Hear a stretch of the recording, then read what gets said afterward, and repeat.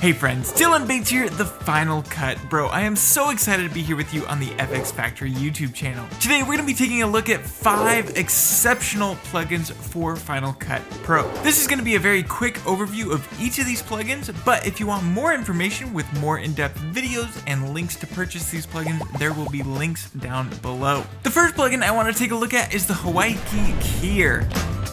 Now there is already a keyer built into Final Cut Pro, but it does not have anywhere near the features that the Hawaiki keyer has. I have a few green screen shots here, but you'll notice some problems. First of all, there's this shadow happening here. There's also some vignetting happening from the lenses. We're gonna go ahead and bring in the Hawaiki keyer and already it's doing a pretty good job. I'm going to use the green version. There's also a blue version which has all of these same features. Then you'll notice right down here at the bottom, we have the ability to see just the matte version, which is a black and white version. We also have the ability to see the analysis version, and so you can very quickly get an idea of what is a solid color, what's an edge. We can also just see the main source, so the original source footage, as well as all of these other views over here. So the Hawaiki Keyer has this amazing feature called Screen Clean. So right now, here is the regular source, and if you take a look at the background, you can see it's got that vignetting. If I go ahead and go over here to the right hand side and enable Screen Clean, then I go back and we'll go ahead and take a look at the screen clean feature. You can see how it actually evens out the green screen. It removes a lot of those shadows that were happening in the green screen, making it a much cleaner key, which is going to give you better results in the end. A big factor was that vignetting that it has taken away. So if we go ahead and set this to final key, we can see the final output. Now I'm going to go ahead and switch this over to analysis mode, and I'm going to disable the screen clean, and you can see how this vignette vignetting is here. I'm going to enable it. And once again, it's cleaning up the green screen, giving you a much better key. Now you'll see all these small dots happening around here. So all we need to do is drag up the density just a little bit. And just like that, we have a really clean key. Now there are hundreds of options to really refine your key. We can jump into secondary options here. We can jump into matte options, despilling, all of this and there's definitely exceptional tutorials on that. I want to keep this nice and short. So I'm going to go ahead and disable analysis mode and you can see we've got a good key.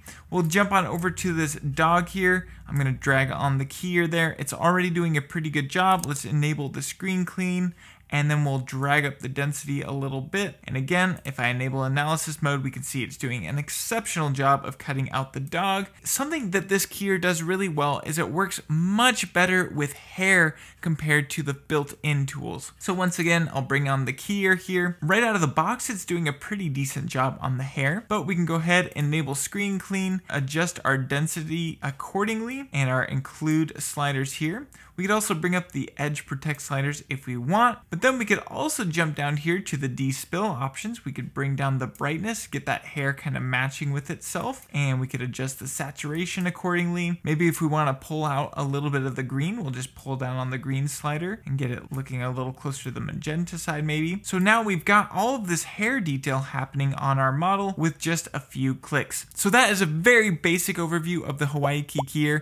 It's extremely powerful and I definitely definitely recommend you check out one of the links down below to get more information on this plugin. The next plugin we're going to take a look at is Griddy, and Griddy is going to absolutely take your split screens to the next level. So you can see here, I have four different shots that I want to separate out into a split screen. Now you might in Final Cut Pro mess with your cropping, adjust it with your position and all that, but Griddy is going to save you so much time. We'll go ahead and select these three lower clips and I'll push V to disable them. Then we're going to select our topmost shot and find Griddy here in my effects panel and I'll drag that right on there. Now it has already created six versions of this same video and that is because it is in layout mode. Layout is how you actually set up the grids. I only have four shots, so I'm gonna go ahead and bring down my columns down to two columns, and then we also have two rows. If I only wanted two shots, I could just set it to one row. But you can see how you can really drag up the columns and the rows as much as you like, giving you a ton of flexibility over how many split screens you have. So once we've got that set up, we can go ahead and scroll down a little bit further and find this offset rows feature. So we can slide it over to the left or to the right if we want kind of a unique looking grid. And then if we want to adjust the placement, we could offset the entire grid so that it is centered up. Then scroll on down to the width slider and drag these out. That might be a little bit too much, but one really handy feature is if we want all of these to be a 16 by 9 aspect ratio, we can go ahead and enable the link width. And so that's gonna lock it to that ratio. Then we can bring the cell size down so that they all fit within our scene. Change the offset on this a little bit, just like so. Now that we've done that, we can dial in the roundness of our corners here. We could also enable or disable the outline. We could bring up the width of the outline if we wanted, and we could change the color of that outline. So let's say I want to change it over to my FX Factory color there. And then finally, if you want to add some really nice dynamic animation, you can come down here and find the animate in, and there's also an animate out checkbox. So I'm going to go ahead and enable that they all animate in really, really nicely. And if you wanted to add in a little extra pizzazz, you could bring in the rotation, you could bring in the opacity, we could do tint. So you can see if I play it through, they look really professional. All the grids come in really nicely. We could also change the sequence. So if we wanted it to come in in sequence, so it's one after another, we can press play like that. And so they'll actually be offset a little bit, which is really nice. We have our initial grid layout. How do we get the grid onto all of these clips? Scroll up to the very top and disable layout mode.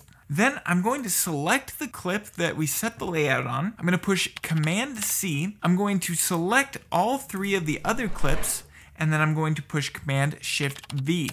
You can also go on up to Edit, and paste effects. So now all three of these other clips have that same grid applied to them. All we need to do now is selecting each of these clips, I'm going to enable it with V, and I'm going to drag up the location. So now you can see my clip has jumped over here to the right side. Then I'll select the next clip, enable that, and drag up the location so that it's down here in the bottom left. And finally, we can enable this bottom one and bring it over to the far right. Just like that, we very quickly have a grid. So this tool is exceptionally powerful and it can really give you a lot of flexibility, especially if you're working with a lot of split screens. Maybe you're doing a Zoom conference, tons of options with this particular plugin highly, highly recommend. Links down below. The next tool that I love using and you will actually see being constantly used throughout the duration of this video is Markup. Markup is exceptional for creating tutorial style videos or just calling attention to something on the screen. So you'll locate Markup in your titles here under Markup and you can see all of the amazing tools that comes with this plugin. Some of the ones that I use the most frequently are frame zoom and frame pan. So all we need to do to use frame zoom and frame pan, we will bring it down on the timeline just like so. And you will see up here in my browser, it actually creates this really nice rectangle that we can use to zoom in on something on the screen. So let's say I want to zoom in on the adjustment layers plugin for FX Factory. I just bring that rectangle over the top of that, and if I play through, you can see how it very nicely animates. Now, if we want to actually change the scale on that, we can actually click on the corner and change the zoom amount here by adjusting the scale of the rectangle. So it's very, very handy. If we don't want the animation of it zooming in, we can disable it here in the top left. So it'll actually do kind of a jump cut zoom, just like this, and you can see how it zooms in. But I have the build out animation still left in, so if I continue to play, it'll do a very nice zoom out animation. It also has the frame pan feature, so if we wanted to actually pan after we've zoomed, we would drag the frame pan underneath the frame zoom feature. And now all we need to do is adjust our offset. So I'm gonna go ahead and adjust the offset here in the right hand panel, but you'll see nothing is happening. So I'm gonna actually have to move forward in time. What I recommend is going to the middle of your frame pan where the animation is completed and then we can adjust our frame pan accordingly. So now it'll do this really nice pan animation after the zoom. Now let's say we want to call attention to something on the screen. Well, this plugin has tons of features for that. We have stuff like this highlight click. So if I were to drag this over something that I think you should show that you're clicking, so let's say we want to show that we're clicking on the transform, I just press play and now it has that nice little highlight click. We could actually change the colors to better match our branding perhaps, and we could change it over to something like pop so it's got a really nice clean looking animation. But that's not all, there's also these attention brackets. There are so many tools within the markup plugin, highly recommend, especially if you are in the tutorial workspace. The next plugins we're gonna take a look at are these amazing dynamic transitions from Premium VFX. All we're gonna do is rather than going down here to the bottom right where the transitions normally are, we're actually gonna go up to our titles and you'll locate them under Premium VFX Dynamic Transitions. Now you might be asking yourself, why would I wanna use titles for transitions over the regular transitions? This is because it gives you so much extra customizability on your clips. Everything is nicely color coded. If it is a short version of an animation, it will be red. If it is a long version, it's going to be blue. You'll also notice that each of these are labeled with an A and a B. Version A is what you put on the first clip. So let's say I want to put rotation left A on the first clip here, leading into this next clip. Then we would take rotation left B and drag that onto the secondary clip. So now if I play through, we have this really nice looking dynamic animation. There are so many benefits of having it in your titles. If I wanted to, we could actually take the rotation and we could take down A and place those on top of each other. Not only is it going to rotate left, but it's also going to go down. So if I press play, you can see how the animation plays out. It drops down and spins left. The same happens with the B. So let's say we want to use left down B on top of rotation left B. We can create our own custom transitions by using the building blocks that are given to us by Premium VFX. You can also select each one of these, go over to the right side. We can enable the bounce feature, which is going to give it a little bit of a bounce when it lands. Plus, we can also drag up the amount of motion blur and the prism effects. So if we really want some really cool prism effects, here I'll show you a frame there. We can drag those up as much as we want and adjust the opacity. So you can have so much fun with this incredible transitions pack from Premium VFX. Links below, just like with everything else. Finally, last but not least is Add Motion.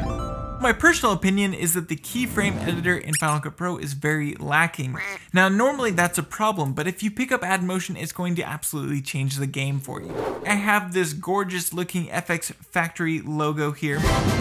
And let's say I wanted to add in some animations. Typically we would go into the scale, let's say we wanted this to pop in, we would add a keyframe, drag that down to zero, then move forward, add another keyframe, and then we would let it play through. But you'll see how jarring that animation is. There's no fluidity to it, and it's just really bad looking.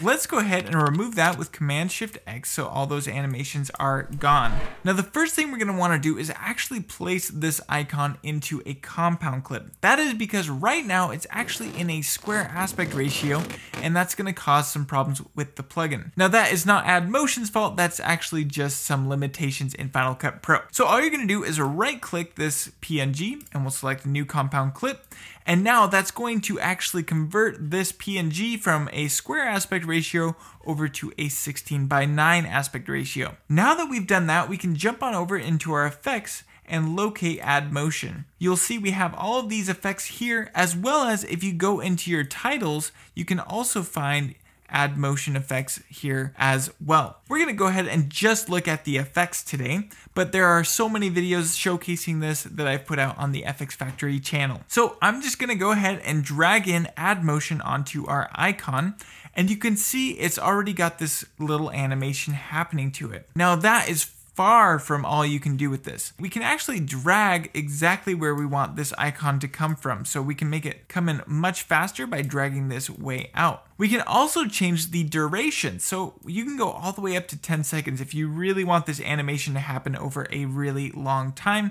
or we can make it much shorter. We can also change the takeoff type. So I'm gonna set this to back, and if we drag this over, it almost pushes back. Actually, I'll drag out the duration so you can really see it. So it's gonna push back a little bit and then push forward in the animation. So again, if we shorten that, it's got this really nice little dynamic push to it. Now you can see there are so many options here and I won't get into all of them, but some of my favorites are if we wanted to actually have some really nice rotation, we can drag up the rotation amount. And so now it's going to actually spin in. And then if we wanted the animation after it's moved to this point, push B and create a cut. And then we can change the move type from A to B to B to A. So now it'll move in just like so, and then it'll slide back out. But what's great is you can get really dynamic with this and we could select that and we could actually shift it over to the right hand corner and we could vastly change the type of animation it has. So now it's flipping in just like so and then it flips out just like that. So you can get so creative with the animation types in AddMotion. I highly, highly recommend it. Again, there's a video below that describes many more of the features of AddMotion, but those are just some of the features that I use on a consistent basis. So that is five exceptional plugins for Final Cut Pro that I really think that every editor should pick up. Thank you so much for watching. My name is Dylan Bates, the Final Cut Bro. If you enjoyed this video and want to learn so much more about plugins in Final Cut Pro, I super recommend you subscribe to the FX Factory YouTube channel. With that being said, I cannot wait to see you in the next one.